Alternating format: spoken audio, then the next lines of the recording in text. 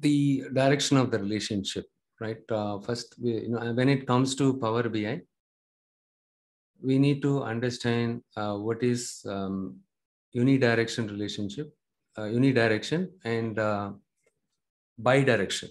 Okay, unidirection, bidirection. By default, uh, once you load the data into your Power BI desktop, the Power BI automatically uh, detect the relationship between the tables. And then it creates the, the link here, right? So if a look here, here, uh, it, it created a relation in a link here, here it created a link here.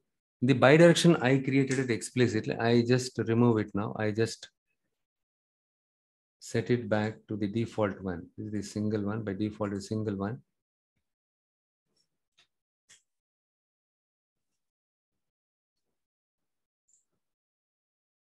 Okay, if you see the arrow here from the dimension table, from the dimension table, the key columns, in this case, the customer ID, in this case, the product ID is the key column, right? Uh, these key columns from your dimension tables are flowing from, flowing down to your sales fact table. You can see the arrow, downward arrow, which means the filtering is happening in this direction. The filtering customer dimension table can filter sales fact table. Product dimension can filter the sales fact table. But your sales fact table cannot filter back your product table and as well as the dimension table, customer table, customer dimension table, because it is unidirection. So only this guy can filter and this guy can filter, but he cannot filter back these two tables. If you want to use your sales fact table to filter your product table or the customer dimension table, then you need to set it as a both, the cross filter direction both. Okay, this arrow indicates uh, in which direction the filtering happens. Okay, uh, the, the one, this one, uh, it indicates uh, the customer table as the one side of the relationship. Similarly here, the product uh, dimension table have the one side of the relationship. This is the many side. Star is the many side. The star indicates the sales fact table is the many side of the relationship. Okay, the keys of uh, each dimension table will appear in the sales fact table for each transaction. Okay, hence the key appears many times. Whereas here the key, the customer ID will appear only one time for each customer. And for each product, the product ID will appear only one time. But this is my transaction file. Let's assume that is an invoice, right? right.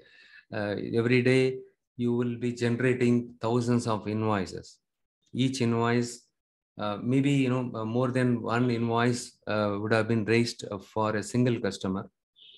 Okay, and um, Hence, the customer ID, you can find it uh, multiple occurrence. Similarly, product ID, you can find it multiple occurrence.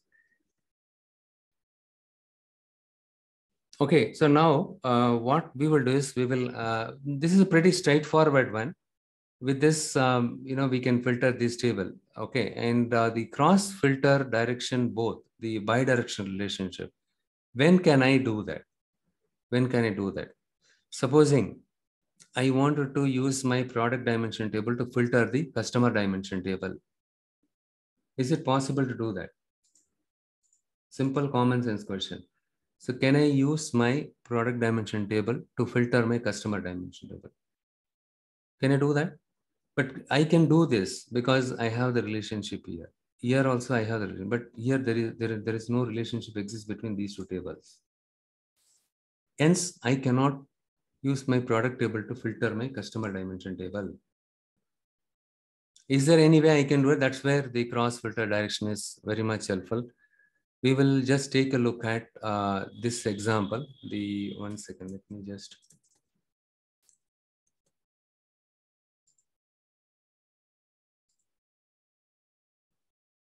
So this is the scenario, okay? And for example, um, I have, I wanted to know how many number of products purchased by each customer and how many number of transaction made by each customer. Okay, so here uh, I do the same thing here.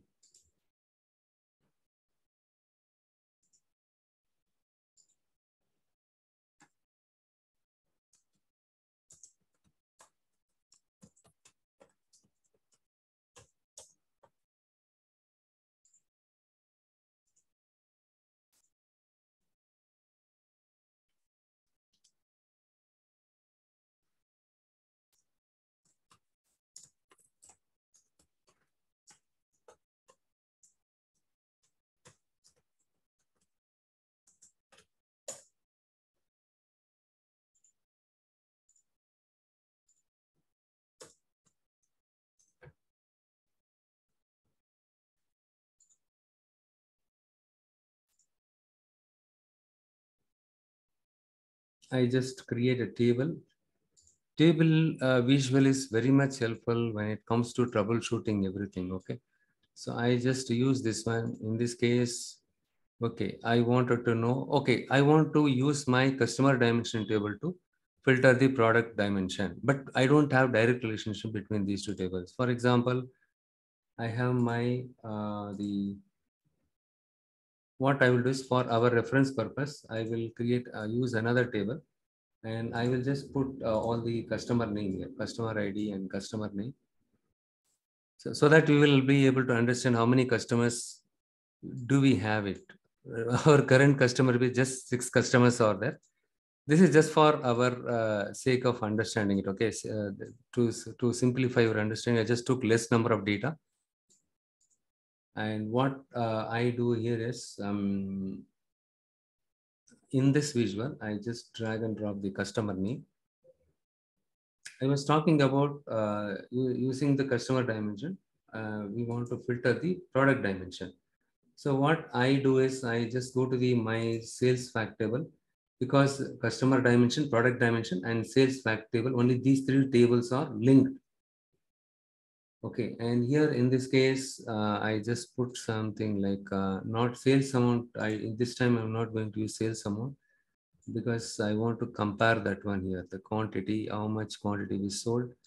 And uh, okay, next one is I wanted to know uh, the customer ID here,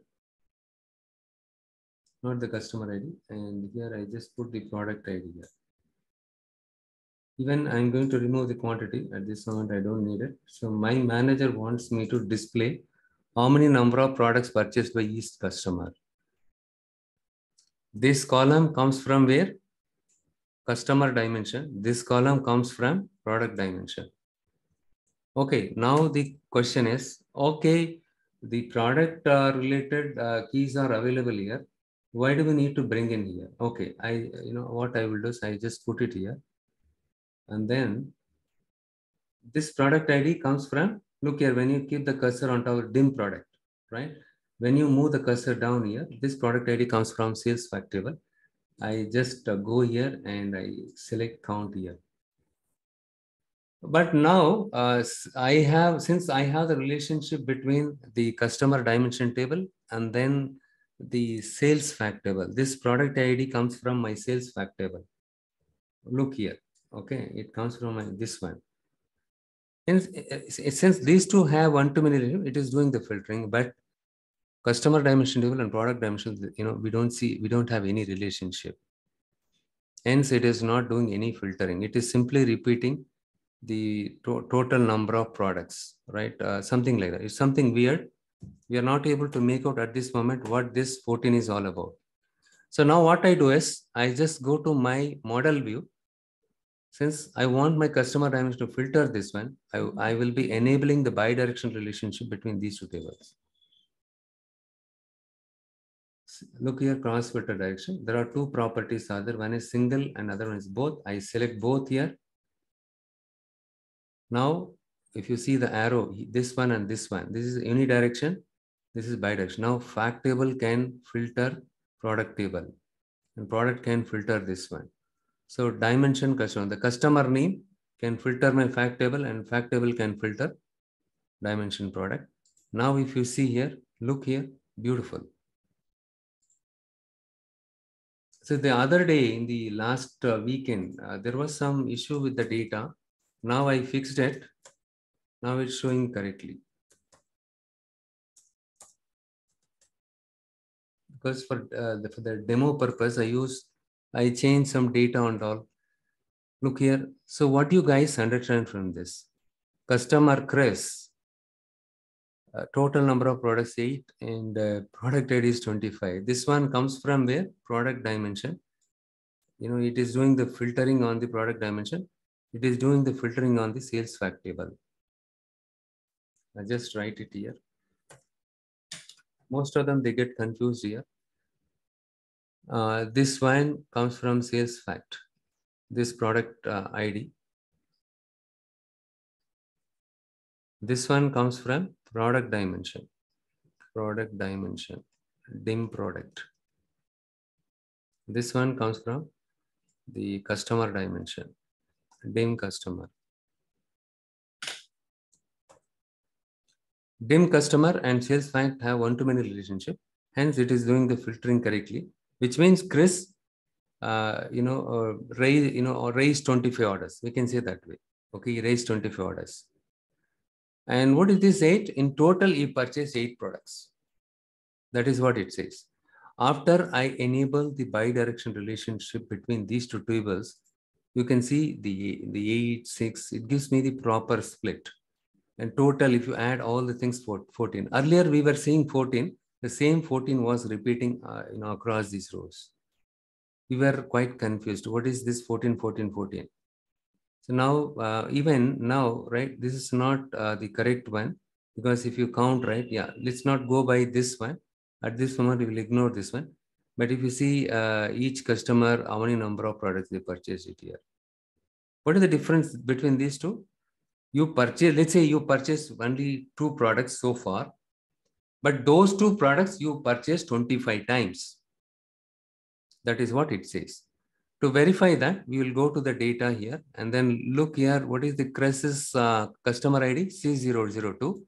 I just go here. This is how you need to go and verify it in the real-time project. Just go to the customer dimension table, C002. Okay, now we will have to go to the sales fact table. The sales fact table, we will just filter C002. If you do it, at the end, what you can see here, 25 rows. This customer, Chris, C002, this is what is customer ID. He purchased, you know, 25 times. How many items he purchased? Eight items. So how do I check that? The same data, you can look here, product ID, just go here and then click on this drop down and you can see the products here? Unique products, two, four, six, eight. These eight products and different occasions he purchased uh, you know he, he, he, bought it in different time. Almost 25 times he bought it uh, you know with the mix of these eight products. Now you understood? Now you understood the difference between this product and the product id so most of them they think uh, you know these two are same because the product id column name is product id but this product ID comes from your sales fact table. This will not give you the total number of products purchased by each customer. You understood? How many number of transactions uh, they made each customer, you can find it. But how many number of products they purchased it, if you want to see it, you can see it here only. Where in my product dimension table. Unless my customer dimension table filters my product dimension, it is not possible to get this value. Similarly, what I do is I just copy paste this one. Now what I do is I just uh, remove all these things. Now I take the product name and uh, and product ID uh, for the, okay, I just create another table. Now we are going to do the opposite.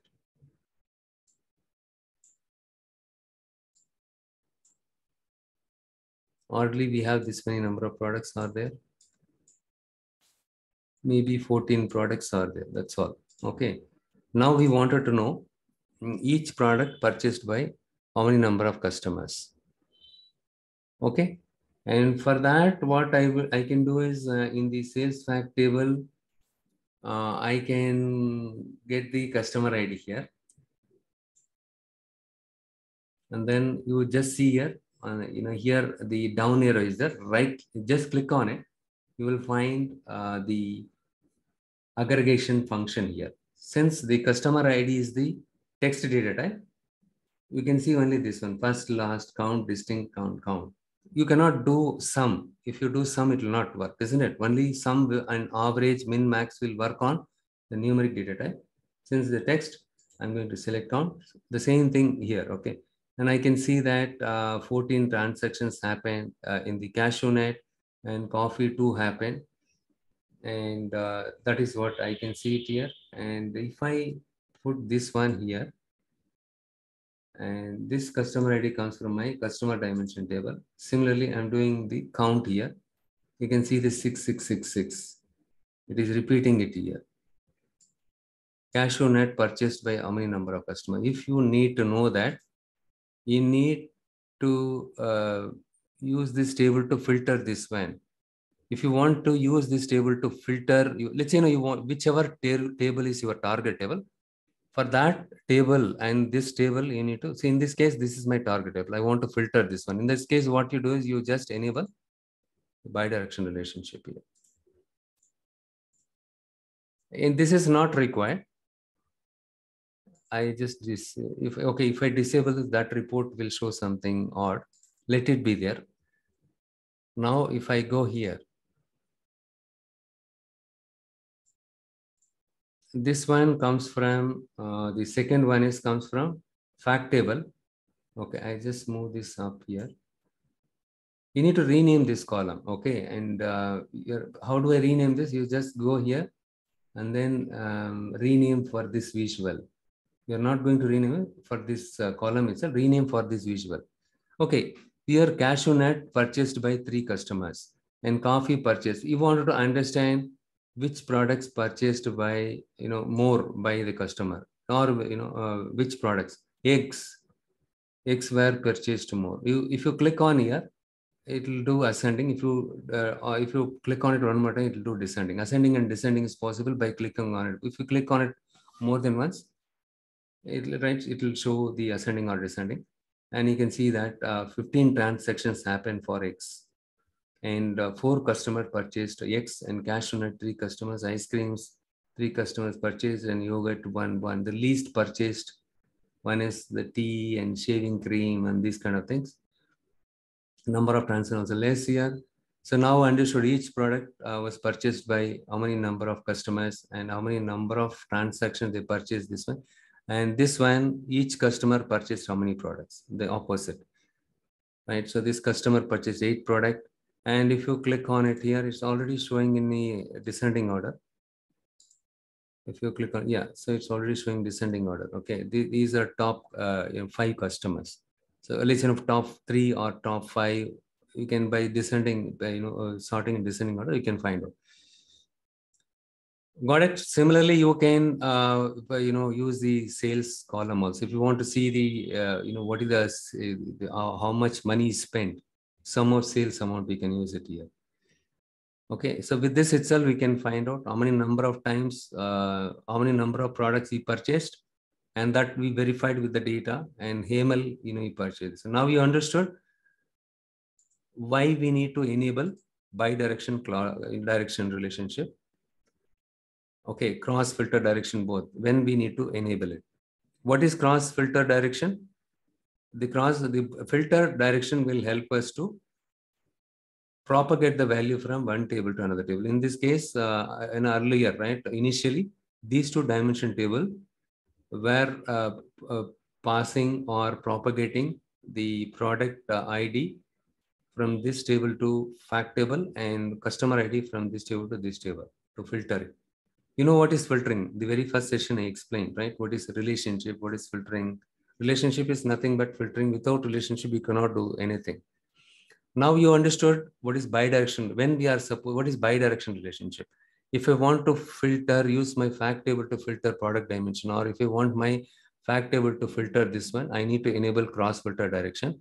Not only if i want my fact table to filter customer dimension customer product dimension we enable bidirectional relationship. If you want to use these two tables, product dimension, customer dimension table, if you want to filter it, then you need to enable uh, the bidirectional relationship between these two, and then only you can filter it.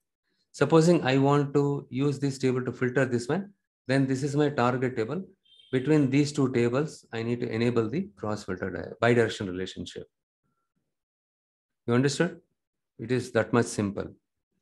But uh, uh, it is not advisable creating the cross filter direction. Okay, configuring the cross filter direction, sorry, the bidirectional relationship is not advisable.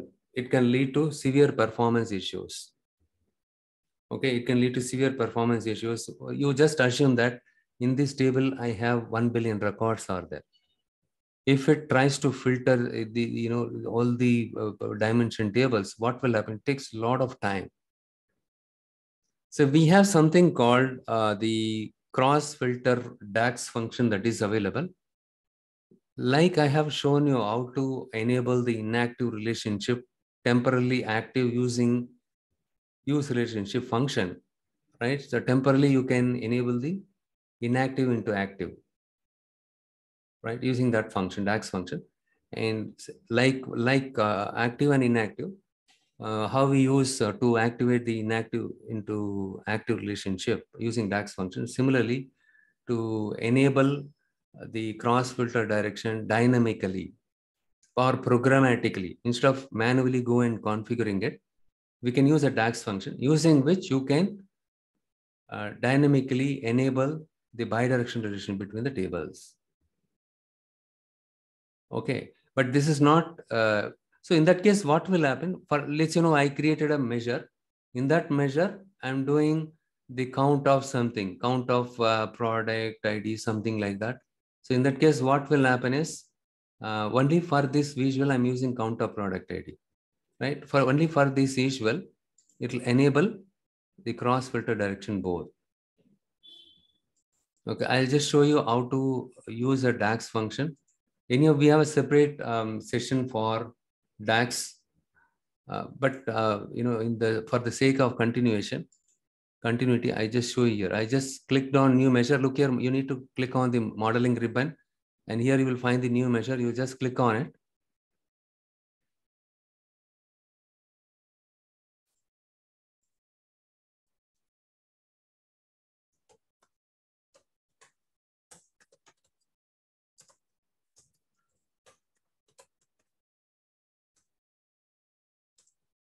So you cannot use uh, the cross filter function, uh, you know, separately you need to wrap the cross filter function using calculate function. It requires some helper function. Calculate is some kind of an helper function. But here what we do is count of my uh, cust ID, something like that. So look here, the customer ID. I just use it here. dim customer cust ID. Uh, okay. Now what i will do is uh, we will use um, product right? So product id product id dim product id and then i'm going to say comma. Cross filter. Look here you can see the syntax here itself when you type cross filter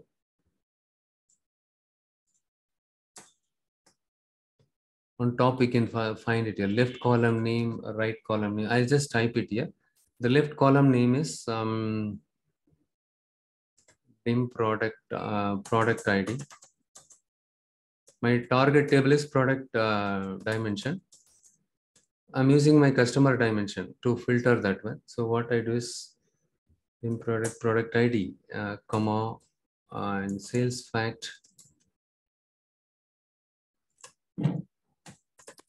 product ID, comma both. The last argument is very much important. Here you need to specify both or single, okay? Yes. So what happens is it, it creates the bi-direction relationship between these two tables using these key column. We know very well product ID is common between these two tables. Now we are creating the bi-direction relationship dynamically between these two tables okay, using cross filter function. It is not a standalone function. You need to call this function inside the calculate. And the, the calculate function takes the first argument as your expression in this case. Okay, what you do is you enable the bidirectional relation between these two, and then you give me the the number of uh, product IDs. Okay, here. I just press enter. Let us see if we have any syntax error. In case of any syntax error, it will throw an error. Okay, now we don't have any error. What I do is I just copy this and paste it here. I use, uh, instead of uh, count of product ID, okay, I just uh, made a typo here, typing mistake. Count of product ID. it shows correctly the measure which I created it. This one, uh, I'm getting it because of the uh, link, uh, you know, the manual link I created. So for example, if I make it single, it should be like this. This is what Microsoft recommends. Okay, don't enable bidirectional relationship unless it is really required. Don't enable it. Instead, what it is, you can use a measure. Look here, this this one, I use it directly from the uh, product um, dimension table. Look here, with my measure is doing perfect job, right? I just, uh, yeah, so this is not uh, the right way of doing it. This is the manual config configuration. But in this case, uh, I have used this measure. In this measure, I'm I enable the bidirectional relationship between the product and sales fact table because I want to use my customer dimension to filter my product dimension table.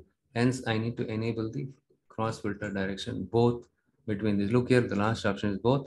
And also, uh, I am using the count function and tell me how many number of products purchased by each customer. Okay, this uh, this one, the cross filter function, will enable the bidirectional relationship till it computes the total number of product ID for each customer. And then it will reset it back to the unidirection only. Okay. It. See here, I did not enable bidirection, but still it is doing the filtering it. Since I disabled that one, right? I made it, uh, I configured it back to single. Since I, you know, dragged and dropped it from this product dimension table directly, it is repeating the same number. It is not doing the filtering because it is not bidirectional relationship. But here, programmatically, I enable this one. That is the difference between these two. With this example, hope you understood uh, you know how to uh, you know use what is cross filter uh, direction what are the properties are well single and um, both but single is the default one both you can configure it. Okay how do how do you configure it? Uh, what kind of situations you need to enable bidirection that's what i explained you. And also i have um, explained you that uh, enabling or configuring the bidirection relationship manually here uh, will cause serious performance related issues, especially if the volume of the data is very high. Okay, if I don't enable the cross filter direction, how can I you, you know, use my customer and to filter my product dimension? There is a requirement, there is a reporting requirement like this. How can I do that? That is where you can use the DAX function. The DAX functions, uh, you know, is very much uh, handy. Mm, that comes for your rescue, right? Uh, to do it dynamically instead of enabling it uh, here, uh, the bidirection. Okay, so you understood uh, the difference between single versus bidirectional relationship and when to use uh, the uh, when to enable and you know the do's and don'ts, right? The manual configuration is not preferable. Hence, we can use the DAX function to handle this one. Okay. All right, so we discussed um, about um, the date dimension also in the previous